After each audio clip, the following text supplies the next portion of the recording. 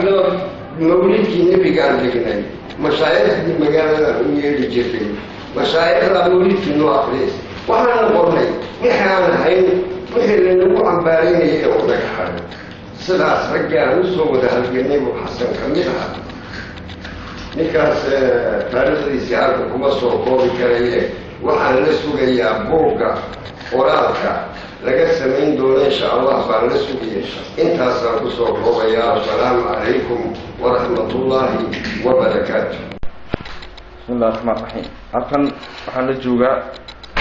dhiximaystihii weynaaye waddankeena ee sameeyey ink national iyo jabuuti qarshiile su'aal waxaan weydiinayaa ku saabsan abwaankii weynaa allah u naxariistay xasan cilmi. Bal qeybta iyo qarshiile bismi illaahi raxmaan raxiim xasan cilmi wuxuu ahaa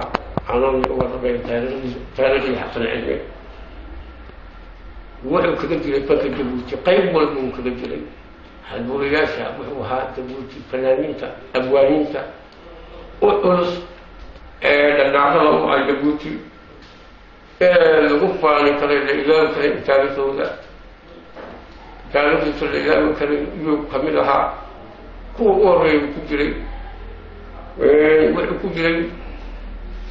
xagga xaggii halganka hadday noqota ruwaayuu soo sameeyey ruwaadii halganku ku jiray gaaba iyo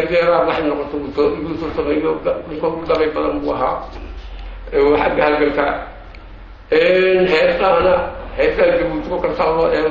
nus macku yaro iyuu lahaa xagga qataa'idkana ninka ugu qasiidad badan buu ahaa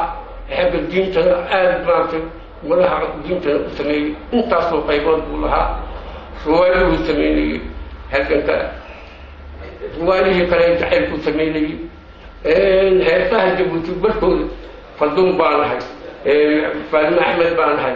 nico jaamac baan ahay maxaan ku yidhahaa hablaha cabdinuur waxaasoo dhan intaa kaheta ay qaadayeen badankood isagaa lahaa kolkaa lama koodi karayo xasan cilmi tulaawi karayana ma aha kaalintiisina ilaa hadda way bannaan xasan cilmi nin abwaanoo la yaqaanay buu ahaa nin wadani buu ahaa ninkee wax arkay iyuu goor kastaba ka shekanaya waxa dhaci nin kastaba wuxuu leeyahay haybad buu leeyahay haybad ilaana ilaahay baad siiyahay alla yarxamu horta baad ilaahay ilaahay jannad ka waraabiye lama joogo kullu nafsin bidaaya qatalmin kii kuwa tegay iyo kuwa tegi doonan baan nahay kullay laakiin isaga iyo ibraahim galle iyo ya ka badan ba naga socoto ilaahay inaan ka naxariiso wale kolka dambena waxaan leeyahay waa nin yaqaan baahayd nin aqwaama baa yaqaana baahayd wuxuu sameynaa heese badan iyuu duubay iyo gabiyo badan laga shaqaynayay oo noo sheegayay wax badan iyuu noo sheegay. Kolkana dee waxaan leeyahay nin la yaqaano oo nin aniga xaggayga qaymad buu leeyahay. Oo la koobi karay. Ayaan leeyahay de waa nin la yaqaan. Oo iyo abwaan weyn buu ahaa. Ninkana dee kulle abwaan nin kastaba nin baax yaa badili karaya laakiin de anigu xaggayga waxaa leeyahay nin isaga ku dhow. Wuu burmi doonaa. Ilaahay baa garanaya laakiin iminka ahaan baa ma arkay bismi illaahi raxmaan raxiim waxaan filayaa horfadhigayga inuu magacaygu idinkaga filayahay ood garateen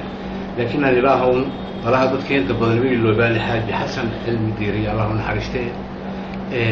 waxa ahaa wax walbaan idhaaho nin karfad walba nolosha buuxinaya ayuu ahaa haddii abwaannimo noqonayso hadday jalaannimo noqonayso haddii ay eraye la horiye noqonayso iyo haddii ay diintoo laga hadlo noqonayso. Waxaa aada ii cajiliyey salawaadadii faraha badnaa ee nebiga uu calayhi salaatu wasalaam u tiriyey waxaana weliba ka soo qaatay ereyadiisii wanaagsanaa markii uu lahaa garanoo adduun waa geediyoo laga guuriyey. Guullow allow aakhirona geeduryo raaco ereyga cajaabisana ku jiray kelimaadkiisaasina wuxuu ahaa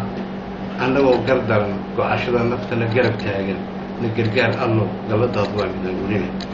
anigoo u rajaynaya xasan sidii wanaagsaneyd ee nebiga calayhi salaatu wasalaam ugula hadlay in markuu aakhiro tegina oo halkii nebiga kula kulmay wada hadleen baa waxaan kelmad yaan ka daba suura waxaan idhi hanuunkii aliyo haligii maxamed lala hadashay hoogay ma yidhi ma hor timid dad hambalgiisa waxaan uga sheeday waadigii ifka intaad joogtay nebi maxamed si fiican jiray markaad dhimatay ma u yeedhay dabcan kolkii nebiga loo yeedho kama aamusa dadka hoogay bulaa ula hadlaa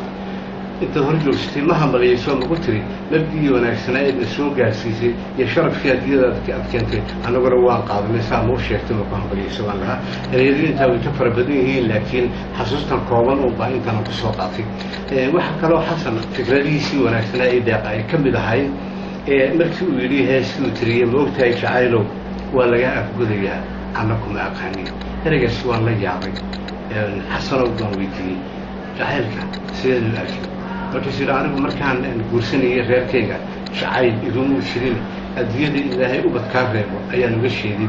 waana ujeeddada keliya ee run ahaan loo guursaday. Waa taa weeyaan. Yani saqajaan iyo dhalinyaranimo iyo carurnimo soomaali mari buu xasan ii sheegay. Hadalladiisaas waxaa ka mid ahaa ma ifkaan ku eegaa oo wabadii iman bisa-iilka hoosaan uga eemameeyaa heeskaas maxamed aadan baa qaada waxaana hayd falsafadii xasan ku tilmaamayey dur ahaan jacaylka intuu dafiray ayuu weliba hadallay noogu muujiyey dafiraaddiisii unaga dhaadhicinayo hadalle macquula oo maskaxdeedna gari kara oon fahmi karo oon qaadan karo iyo fikradda laqi karo ayahay xasan ilaahay aa naxariisto bismi raxmaan raxiim fadlan assalaamu calaykum calaykum asalaam waxaan doonayay inaan dhowr su'aalood ku weydiiyo oo ku saabsan taariikhdii cabwaan xasan xidhi su'aasha ugu horeysa heerkuu kaga jiray fanka jabuuti markaad qiimayso bismi illaahi raxmaan raxiim allah u naxariistay. Xasan cilmi fanaaniinta abwaanada reer jabuuti kaalin weyn buu kaga jiray. Wuxuuna ahaa lafdhabar wuxuu ahaa tiirkii fanaaniinta. Waxa weeyaan waxaan anu ka mid ahay fanaaniinta uu soo gacan qabtay ama soo ababiyey badanaa suugaantiisana qaada. Aniga cabdinuur faadma axmed waan ku dhannahay. Wuxuu ahaa